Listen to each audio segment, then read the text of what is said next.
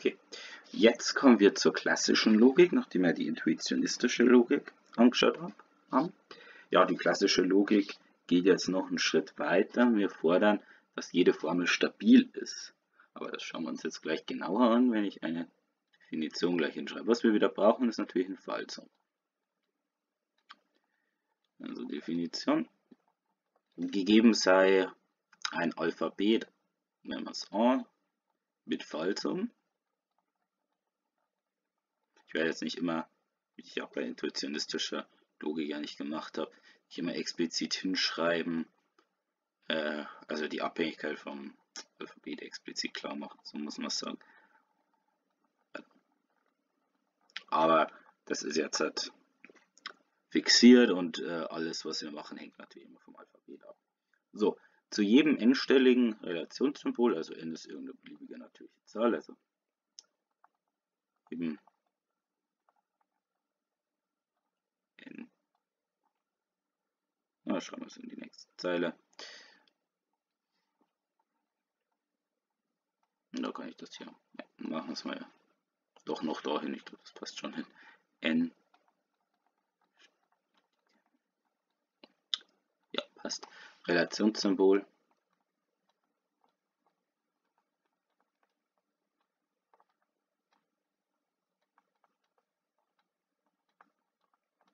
Es einfach R, also aus unserem Alphabet natürlich. Da definieren wir jetzt so, wie wir vorher eben das mit dem intuitionistischen also mit dem EFQ definiert haben, definieren wir jetzt die Stabilität, also Stab von R. Und das sagt halt aus. Alle, ja, das war jetzt n-stellig, also schauen wir hier in x1 bis xn. Das sind tolle Punkte. Ähm, nicht, nicht R. Man sollte jetzt eine neue Zeile anfangen können, aber gut, impliziert, also nicht nicht r von x1 bis n impliziert x1, äh, rx1 bis x1. Das heißt, also im Grunde sagt man, eine Formel ist stabil, wenn sie das erfüllt, also anstelle von diesem rx1 bis xn dann die Formel steht. Aber ähm, hier wollen wir das wieder nur für die Relationssymbole haben und wir werden jetzt gleich sehen, da kann man wieder ähnlich wie bei der intuitionistischen Logik was herleiten. Also wir setzen dann wieder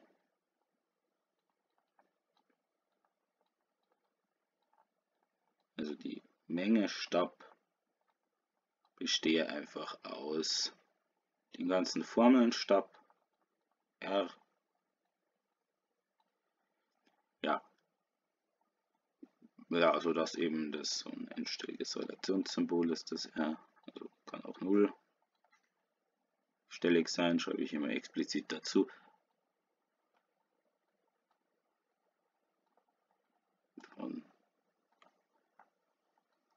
Und natürlich fordern wir wieder, wenn wir es nicht brauchen. Das leitet sich von selber her. Also Stabfalsum gilt einfach immer.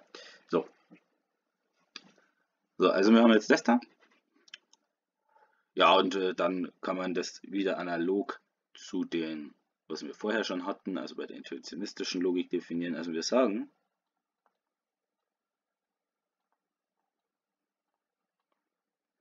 ähm, A ist klassisch herleitbar.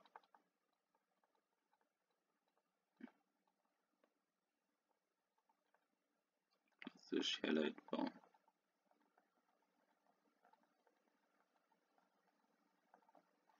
Aus Gamma, weil Gamma halt eine Formelmenge ist und schreiben dann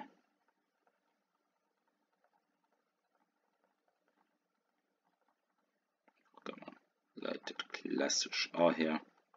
Ja, für Gamma vereinigt mit Stab. Leite daher. So einfach. Ja, und außerdem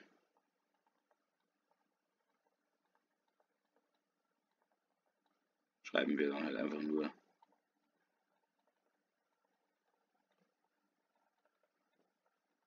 A ist klassisch herleitbar für Stab leitet A her. Okay, gut. Hm, hier vielleicht noch klar machen, das schaut eher aus wie ein T. So, also für Stopp.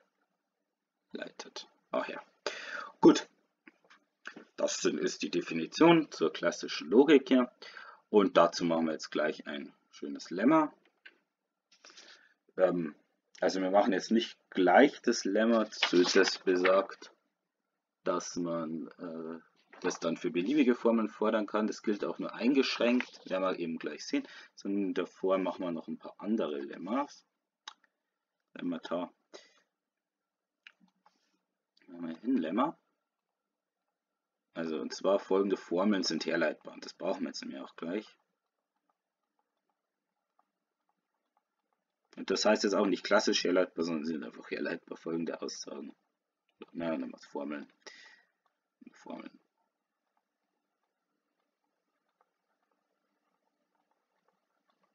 Sind herleitbar.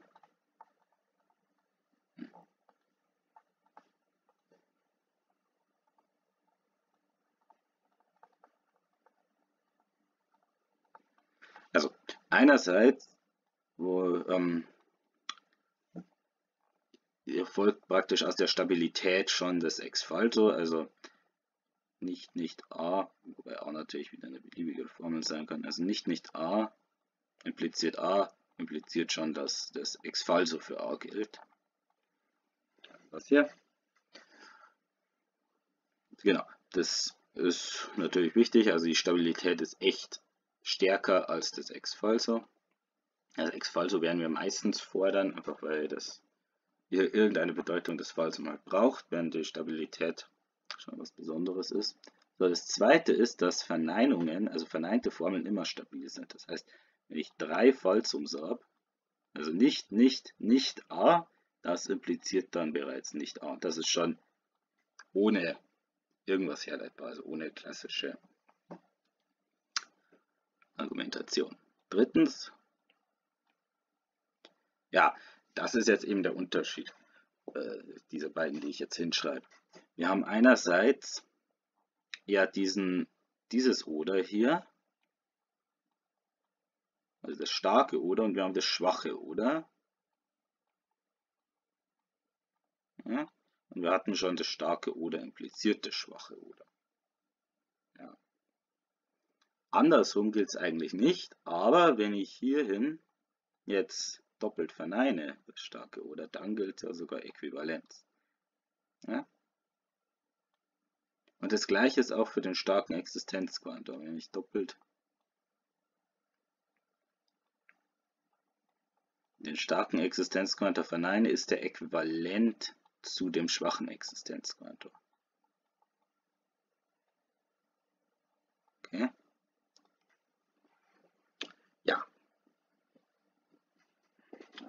Das ist jetzt wichtig, das werden wir nämlich gleich sehen, denn später werden wir sagen, der, dass wir aus der Stabilität, also aus Stab, die Stabilität jeder Formel herleiten können, wenn kein starkes oder und keine stark, kein starker Existenzquantor vorkommt. Für den starken Existenzquantor gilt das einfach nicht, aber das werden wir gleich sehen. Ja, dann beweisen wir das mal. Dazu gehen wir natürlich einfach die Herleitungen an. Ja, und das würde ich jetzt auch sagen, äh, also für 1 und 2 ist das ziemlich leicht, deswegen schreibe ich mal hin 1 und 2 sind, ne, nicht 3, Nochmal 1 und 2 sind Übungen.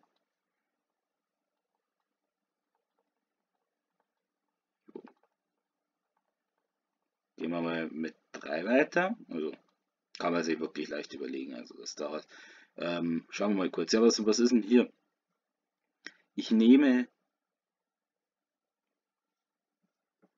Also dass, dass das hier das A er erfüllt. Das ist, also ja, ich nehme das Falsum an, das darf ich hier haben. Wenn ich das Falsum habe, dann binde ich nicht A ab, dann kriege ich nicht nicht A, dann sagt mir nicht nicht A impliziert A. Ja, und dann habe ich A. Gut. Also so, äh, das wäre das erste und das zweite kann man sich auch leicht überlegen. Gut, machen wir mal das dritte.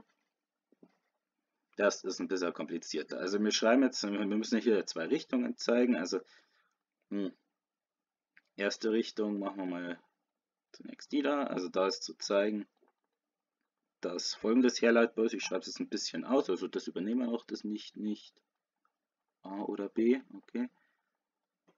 Und dann eben dieses, schwa dieses schwache oder lässt sich ja schreiben als nicht A, äh, nicht, nicht A und nicht B, also A und nicht B impliziert Falsum. Schreibe ich das so hin. Also, wir wollen am Ende ja ein, ja, machen wir uns mal hier noch ein bisschen Platz. Wir wollen am Ende ja eine Herleitung vom Falsum haben. Ja, und dürfen diese zwei Annahmen hier verwenden. Gut. Also, wie kriege ich eine Herleitung vom Falsum? Das ist ja schon die Frage. Ja, das Einzige, wo ich jetzt sehe, dass ich eine Herleitung vom Falsum kriegen könnte, wäre ja hier. Dann brauche ich einmal, aha, einmal eine Herleitung von nicht A oder B. Weil dann kriege ich zusammen mit dem, nehmen wir das mal V oder so, mit dem äh, nicht, nicht A oder B. Ja.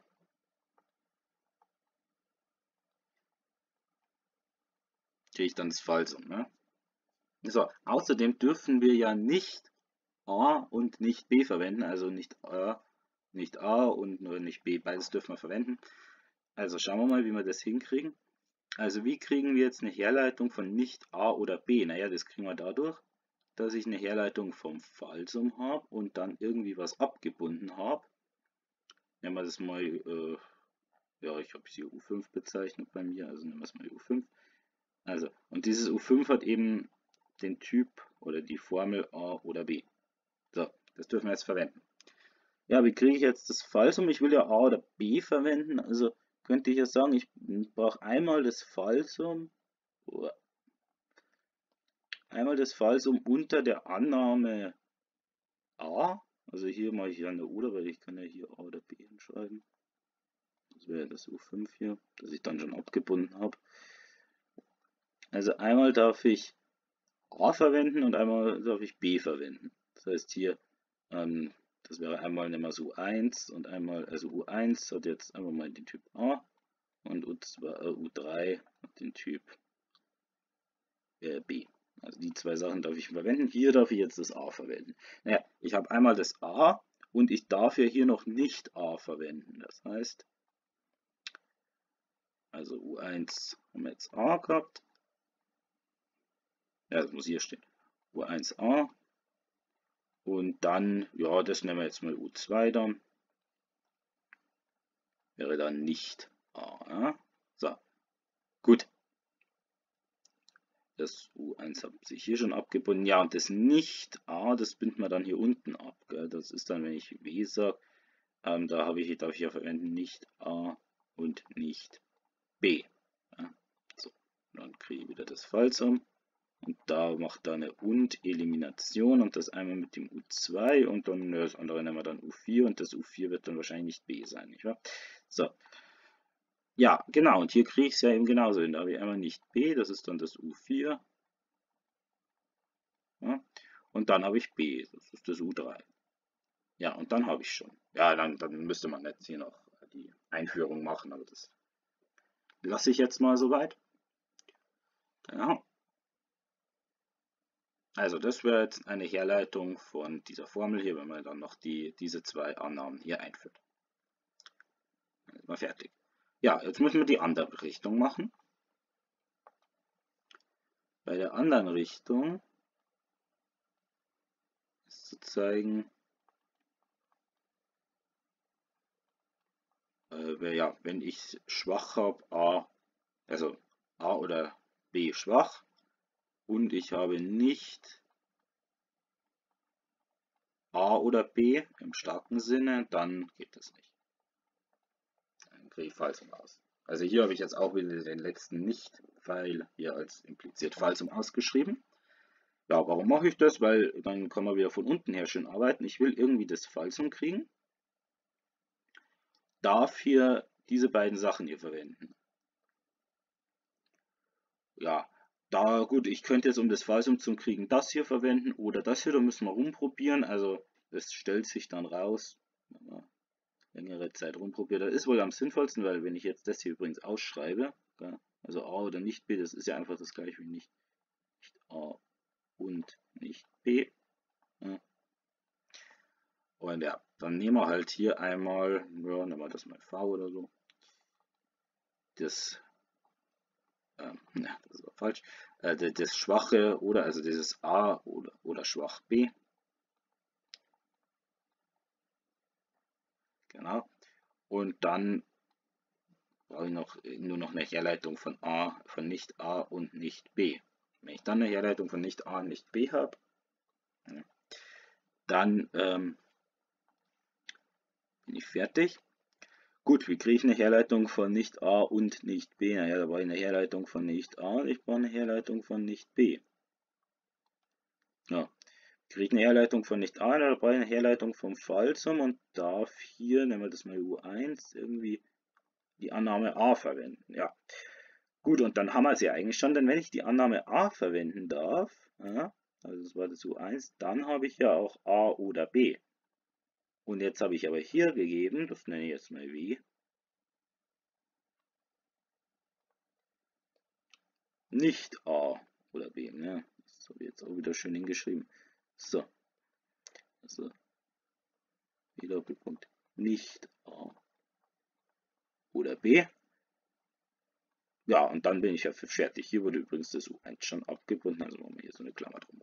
So, und beim anderen ist es jetzt, also bei nicht B ist es ja genauso. Wir haben eine Herleitung von, vom Fallsum unter der Annahme, die nennen wir jetzt U2, oder? Ja, U2. Hier könnte man auch noch ein Plus machen. Gut. Also unter der Annahme U2 von, äh, ja, vom Typ B dann. So, und das kriege ich eben genauso.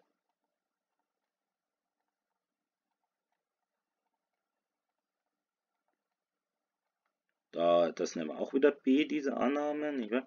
Und hier habe ich eben U2b. Das wurde ja schon abgebunden. So, und dann haben wir es auch schon. Also dann, ja, da kann man das noch einführen, aber das sparen wir uns. Genau. Und jetzt haben wir eigentlich noch diese andere Formel hier. Also wenn wir nochmal raufgehen, zu zeigen. Und zwar es existiert XA ist äquivalent zu ähm, es existiert, äh, nicht, nicht es existiert XA ist äquivalent zu es existiert schwach ein XA. Ja, und das äh, werde ich jetzt auch wieder als Übung überlassen, denn das ist praktisch analog zu dem, was wir jetzt gerade gemacht haben. Weil man kann sich das so vorstellen, und das passt eigentlich sehr gut, der, äh, so ein es existiert XA oder so ein Existenzquante ist ja nichts anderes wie eine ähm, ja, unendliche Disjunktion. Also es ist eine Disjunktion mit, ja, so viele x es halt gibt. So viele mögliche x ich habe. Ähm, dann schreibe ich halt immer das in die Disjunktion rein. Und das sieht dann wirklich komplett ähnlich aus. Dann steht hier der Existenzquantor. Ja? Also wenn wir das uns mal hier überlegen. Ja, vielleicht mache ich das kurz. Schauen wir mal. Also, mal hier mit einer roten Farbe drüber. Wenn ich jetzt eben das mit der Existenzformel herleiten wird. Dann müsste ich ja hier, ähm, ja, hier steht jetzt ein und, aber das und würde dann einfach nur durch, ein All, durch eine All-Einführung, also die, das hier wäre dann eine All-Einführung von dem x und dann müsste ich aufpassen, dass das x hier nicht frei vorkommt. Ähm, so, das äh, da oben das stünde ja dann einfach nur nicht, A oder B wäre dann nicht, es existiert XA. Genau, hier würde dann eben nicht, nicht, es existiert XA stehen, ja, und das brauche, und ja, wie kriege ich das da? Dann würde ich hier eben, es existiert XA haben, anstelle von dem. Ja, und jetzt gehen wir darüber, dann haben wir hier eine Oder-Einführung, das wäre dann hier eine Existenzeinführung von es existiert XA. Ja, soweit klar. So, dann ähm, den Teil können wir uns hier wegdenken. Sind nur noch bei dem Teil hier. Also ich würde hier eine, Ex eine es existiert x, äh, es existiert äh, Elimination machen von dem x und die und das U1, also dieses A da abbinden. So, und dann haben wir hier das Nicht-A und das Nicht-A kriege ich ja dadurch, naja, ähm, ich habe ja eigentlich auch noch gegeben, dass für alle x nicht A. Ne? Wenn ich also für alle x nicht a machen und dann x hinschreiben, dann hätte ich hier, ähm, also ist so weiter so nah dran. So, das wäre dann ein anderer Name, aber gut. So, ich weiß nicht, ob man es versteht, aber es ist jetzt, ich will das jetzt sowieso eigentlich aus Übung lassen. Aber hier sollte man mal sehen, dass der Existenzquantum und die Disjunktion eigentlich ziemlich identisch sind. Ich habe eben beim Existenzquantum praktisch eine unendliche Disjunktion. Wobei, was heißt unendlich? Also es kann natürlich auch sein, dass es nur zwei mögliche x gibt. Also 0 und 1 zum Beispiel. Und dann habe ich wieder komplett die Disjunktion. Es kann auch sein, dass es nur ein x oder gar kein x gibt. Also so gesehen kann man den Existenzquantum als eine Verallgemeinerung von der Disjunktion sehen. Gut, soweit so gut. Also wir haben jetzt, dass diese Formeln hier alle herleitbar sind jetzt geht's. Diese Formeln hier.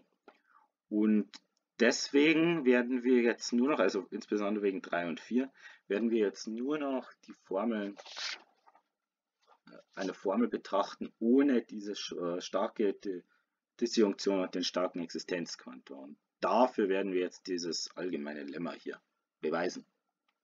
So.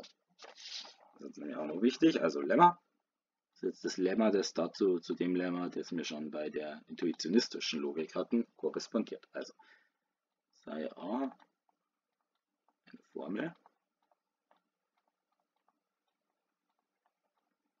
Und hier eben wichtig, ohne Existenz und Disjunktion, also stark jeweils.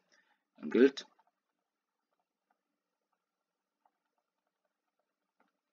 als klassisch herleitbar ist, dass diese Formel stabil ist. Ja, und das beweisen wir natürlich durch Induktion über den Formelaufbau. Wir müssen jetzt eben diese zwei Fälle hier, also Existenz und Disjunktion, nicht betrachten. Beweis. Also Induktion über Formelaufbau.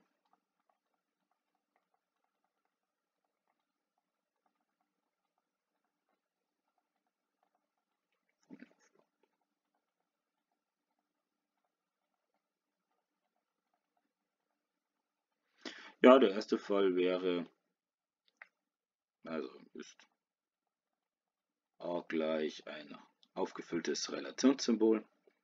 Ja, dann folgt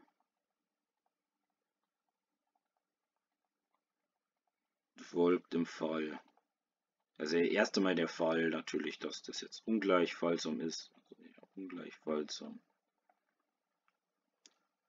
Alles nach, ja, ich muss ja nichts anderes machen. Ich habe jetzt hier bei der, ich habe ja dieses Stab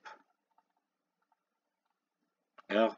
Ja, das ist ja eben genau ähm, für alle x-Vektor, nicht, nicht rx-Vektor, impliziert rx-Vektor. Ja, und da muss ich ja nichts anderes machen, wie hier diese s-Vektors hier ersetzen und dann kriege ich ja genau, ja, dann kriege ich das hin. Warum ist wieder weg? Hm, das wollte ich nicht. Also ich muss hier nichts anderes machen. Schreiben wir einfach hin, Falle alles sofort durch Allbeseitigung.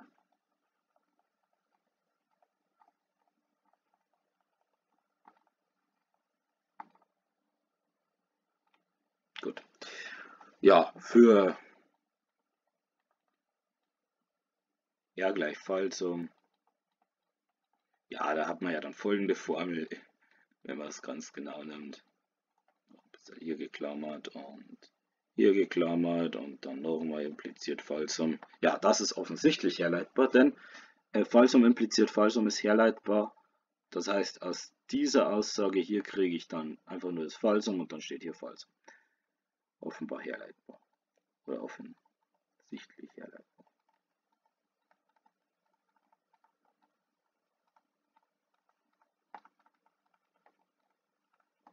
Gut. Ja, interessanter ist jetzt der Schrittfall natürlich. Also machen wir den einen. Also sei A das gleiche oder A gleich eine Konjunktion. Gut. Also, was machen wir bei einer Konjunktion? Ähm, da reicht es ja dann zu zeigen, dass wenn ich weiß, dass die beiden, ähm, ja, die beiden Formeln B und C stabil sind, dass dann eben auch die Konjunktionen stabil sind. So, und dass die stabil sind, also dass B stabil ist und C stabil ist, haben wir ja schon nach Induktionshypothese, also wegen der Induktionshypothese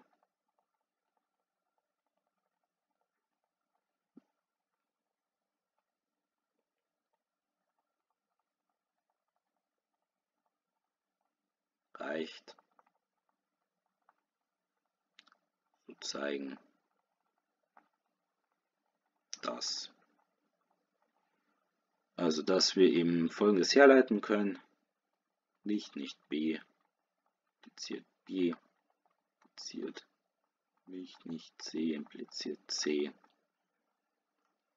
impliziert, ja, also brauchen wir eigentlich keine Klammern wenn ich nicht, nicht, jetzt brauchen wir Klammern, B und C habe, dann habe ich schon B und C. Gut, also das muss gelten. Dann machen wir das. So, ja, also ich will am Ende hier B und C herleiten. Das geht natürlich nur dadurch, dass ich einmal B herleite und einmal C. Jetzt schauen wir uns das mal für B an. Für C wird es wahrscheinlich analog gehen. So, gut. Wie kriege ich B her? Ja, B kriege ich dadurch her, dass ich einmal nicht nicht B herleite und dann eben diese, die Stabilität von B verwende. Und das nehmen wir mal V1. So. Ja, nicht nicht B leite ich dadurch her, das ist mir zu schief, so, nicht nicht B leite ich dadurch her, naja, dass ich das Falsum herleite unter der Annahme, die nehmen wir jetzt mal U1, einfach nicht B. Ja? Gut. Wie leiten wir das Falsum her? Das können wir jetzt ja dadurch herleiten, dass ich sage, ich habe einerseits jetzt nicht, also ich habe die Annahme nicht, nicht B und C, die nenne ich jetzt mal V2 oder so. Also ich habe die Annahme nicht B und nicht C und dann na, ich sollte mir wirklich ein neues Touchpad zulegen, das gut ist. So, und dann muss, war jetzt eine Herleitung von nicht B und C. So, ja, und das kriege ich ja schon, weil ich weiß, dass nicht B gilt. Also dann bin ich ja schon fertig. Ich weiß, nicht B gilt, das muss, kann auch nicht B und nicht C gelten. Ähm, ja, also das kann man dann dadurch herleiten. Ja, ange, angenommen, es gilt, also eh, gut, ich muss das Fall zum Herleiten unter der Annahme B und C. Ähm, kriege ich ja schon daraus her. Ich habe, also gut, hier müssen wir noch Pfeil-Einführung machen. Also der Annahme B und C, das nehmen wir mal U2. 2, also B und C. Und hier machen wir dann gleich eine Und-Beseitigung, weil ich kann das Falsum herleiten aus nicht B, was mein U1 ist, was ich schon abgebunden habe, und meinem B, was ich dann jetzt mal U3 nenne. So, dann will ich hier irgendwie U3 und nehmen wir das mal U4 oder so ab. So, also das ist jetzt das fürs B, das B und C. Das habe ich hier abgebunden, können auch eine Ecke Klammer rum. V1 und V2, das sind Annahmen, die hier in der Prämisse stehen. Das heißt, die blendet man dann am Ende ab. Genau. Und bei dem C hier, da schreibe ich jetzt einfach mal hier ein Analog hin. Also das geht ja komplett analog. Ich ersetze hier nur das ja, durch C. Also mehr mache ich ja nicht. Gut, Ah, U2 sollte ich übrigens das hier nicht nennen, das nehmen wir dann U4, weil U2 ist ja schon vergeben. Gut, also das geht hier komplett analog, kann man gerne als Übung ergänzen oder mir einfach glauben oder sofort sehen, je nachdem. Ja gut, dann schauen wir weiter. Also wir haben jetzt das hier gezeigt, dass das herleitbar ist und haben damit den Fall von der Konjunktion gemacht.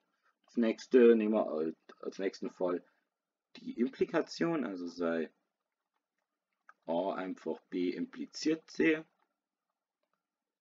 ja, dann reicht es ja wieder zu zeigen, ja, wir dürfen annehmen, dass B stabil ist, wir dürfen annehmen, dass C stabil ist. Für unsere Fall reicht sogar, dass C stabil ist, also es reicht, wegen der Induktionshypothese.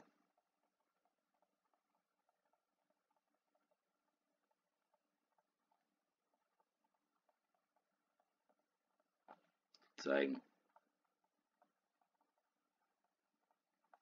dass folgendes herleitbar ist, also wenn ich schon habe, dass C stabil ist,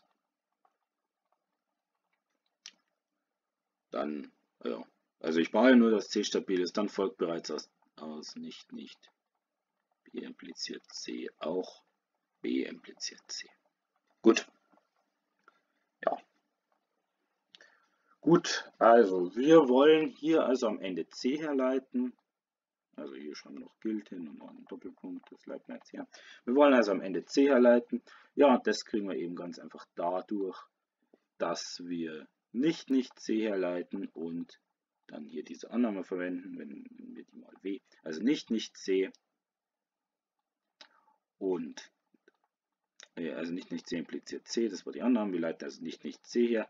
Das passiert dadurch, dass wir das Fallsum herleiten unter der zusätzlichen Annahme nicht C. Ja. Gut, damit das Falsum können wir ja wahrscheinlich dadurch herleiten, dass wir das hier jetzt verwenden. Also, dass wir jetzt äh, nicht, nicht B impliziert C ähm, verwenden. Das nennen wir mal V. Und dann eben B impliziert C. Ja. Genau, und das kriege ich dadurch raus, also B, ähm, nicht B impliziert C, kriege ich ja daraus, dass ich das Falsum herleite unter der zusätzlichen Annahme, nehmen wir es U2, B impliziert C. Ja. Gut, dann überlegen wir uns das mal, also ich will das Falsum herleiten und habe gegeben B impliziert C, ich habe nicht C gegeben und ich habe B gegeben. Naja, wenn B gilt, dann gilt ja auch C und dann kriege ich schon das Falsum mit nicht C. Ja. Also, ich kann C herleiten aus U2, da weiß ich ja B impliziert C. Ja. Hm, nicht B plus C, sondern B impliziert C. Und B. Und B ist ja eine der weiteren Annahmen, nennen wir das mal W-Schlange oder so. B. So, das, das haben wir schon abgebunden. Genau, da haben wir C und wir haben ja andererseits das U1 von nicht C, das jetzt auch schon wieder abgebunden ist. Und dann haben wir das Falsum. So, und dann kann man das so wieder einführen und ist fertig. Das war der Implikationsfall. Und jetzt braucht man nur noch den Alpha-Allquantor-Fall. Dann machen wir das. Also, sei nun a gleich für alle xb. So, nach Induktionsherleitung, äh, Induktionshypothese gibt es eine Herleitung davon, dass dieses b hier stabil ist. Heißt nach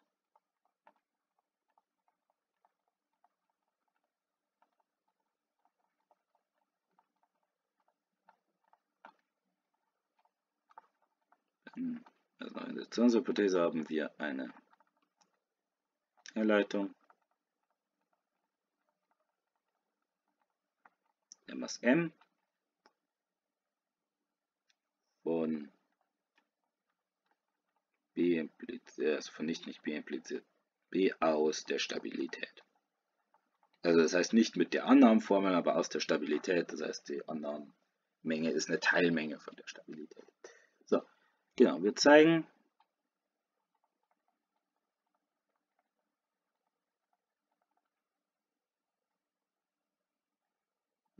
klassisch herleitbar, dass diese Formel hier stabil ist. Gut. Wie macht man das? Na, am Ende muss für alle x b stehen. Ja? Und da muss man halt irgendwie jetzt eine äh, All-Einführung machen und dann muss ich dann B. Also ich muss jetzt B herleiten und muss jetzt dann nachher noch die Variablenbedingungen überprüfen. Gut. Na, wie kriege ich B her? Ja, da wissen wir ja schon. Das ist stabil. Das einzige Möglichkeit, dass wir B herkriegen, ist, dass ich eben hier nicht, nicht B impliziert B verwende, da habe ich jetzt die Induktionshypothese M. Ja, das darf ich jetzt verwenden, also bleibt in dem Klassisch drin. Dann muss ich nicht nicht B herleiten. Ja. Gut, nicht nicht B kriege ich wieder ganz normal, dass ich das Falsum herleite und sage, ja, dann muss ich halt eine U2, also muss ich irgendwie nicht B verwenden, um das Falsum herzukriegen. Gut. Wir haben jetzt noch gegeben, nicht nicht für alle xb. Das heißt, da werde ich wohl das jetzt verwenden müssen. Also wenn man jetzt mal diese Annahme wählt, das nicht nicht für alle xb. Und dann, um das Falsum zu kriegen, muss ich also für alle xb herleiten. Gut, geht mir da oben wahrscheinlich der Platz aus. Aber pressen wir das mal hin. Also, da muss ich das Falsum herleiten unter der Annahme, nehmen wir die mal U1, äh, für alle xb. Ja? Und das kriege ich dadurch, dass ich ähm, b herleite und nicht b. Und genau, und jetzt ist mir hier der Platz ausgegangen. Also hier oben steht dann natürlich, ist jetzt doof, äh, ja, also nicht b das darf ich ja verwenden, das war meine U2, das bin ich ab. Und das B ist für alle x b und das, wenn ich das x darf. Und das für alle xb, das war die Annahme, die habe ich hier U1 genannt. Soll eine 1 sein. So. Gut, okay. So, dann ist das auch hergeleitet. Jetzt müssen wir aber noch, also es ist eigentlich noch nicht ganz hergeleitet, wir müssen hier noch die Variablenbedingungen überprüfen. Also machen wir das mal ist es erfüllt. Ja, was haben wir hier noch? Wir haben hier ja als freien Annahmen sicherlich irgendwas aus der Stabilität, das kommt von dem m hier. Okay, also x ist aber nicht in den freien Variablen von der Stabilität, denn da gibt es keine freien Variablen. Das ist alles allquantifiziert. Und die andere freie Annahme ist das w hier, also nicht, nicht für alle xb. Ja, und da ist ja eben genau das für alle x. Also ist das x schon äh, weg. Das heißt, es ist auch nicht, nicht, nicht für alle x b. Gut. Okay. Dann wäre es das soweit für die klassische Logik. Also äh, man kann sich jetzt relativ schnell überlegen, warum wird oder ja, also wir können es uns mal zumindest heuristisch überlegen, warum wird es wohl nicht gehen für den für die Disjunktion. Also, also hier ist der Beweis mal abgeschlossen. Warum geht es jetzt nicht für die Disjunktion? hätte ich ja A oder B. Und das äh, hätte ich gerne nicht, nicht A oder B impliziert A oder B. Da habe ich jetzt folgendes Problem.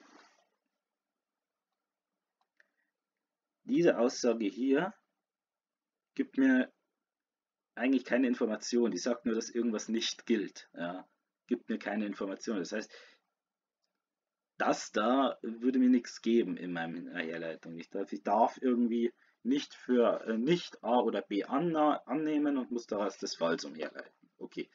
Aber ich muss am Ende A oder B herleiten und da ist die Information, in dem A oder B ist die Information versteckt, dass entweder A gilt oder B, also ist die Information versteckt, wann gilt A oder B. Das kann man sich ja hier überlegen, noch besser, hier, hier kommt zwar das A oder B vor, aber das wäre ja äquivalent zu nicht A und B gilt, äh, nicht A und nicht B gilt nicht. A oder B. So, also ich habe hier eine, einen Informationsblock, der mir hier eine, ich sage mal, filigranere Information liefern sollte, wann gilt A, A oder B. Das äh, sieht man aber beim Existenzquant noch besser. Da habe ich jetzt seit hier das für, also das für alle x nicht A gilt nicht, impliziert, es existiert x. A. Also ja, das, da haben wir gerade gezeigt, das ist äquivalent zu nicht, nicht, es existiert x a. Das ist das Äquivalent dazu. Ähm, ja, das Problem ist hier wieder, ich habe hier eine Allaussage und ein paar Verneinungen. Und hier soll ich ein x angeben. Und das macht man ja beim natürlichen Schließen. Wenn ich es existiert xa haben will, dann mache ich, brauche ich, ne, das macht man eigentlich andersrum. Dann brauche ich hier das T. Ja. nehme ich dann das a von t, also hier dann x. Das heißt, ich muss dieses t hier angeben und das kriege ich nicht aus dieser Formel raus. Also jetzt mal rein heuristisch betrachtet, kann das überhaupt nicht funktionieren. Wir werden aber noch äh, hoffentlich zu Gegenmodellen kommen, wenn wir mal Modelltheorie machen. Apropos, also wir werden jetzt mal so weit, dass wir fertig mit dem natürlichen Schließen und ja, der Plan ist, dass wir jetzt entweder gleich mit Modelltheorie anfangen, vielleicht auch noch ein neues Kalkül betrachten, also irgendwas, was nicht das Kalkül vom natürlichen Schließen ist, aber äquivalent dazu ist. Ja, vielleicht machen wir dann auch noch die Baumodelle oder so. Also werden wir dann noch schauen, das überlege ich mir noch. Ich kriege am Montag ein Buch drüber, da wo ich noch reinschauen werde und mir da Ideen suche. Auf jeden Fall ähm, wären wir hier jetzt mal fertig mit dem natürlichen Schließen fürs Erste und wir sehen dann noch weiter. Hoffentlich bis bald.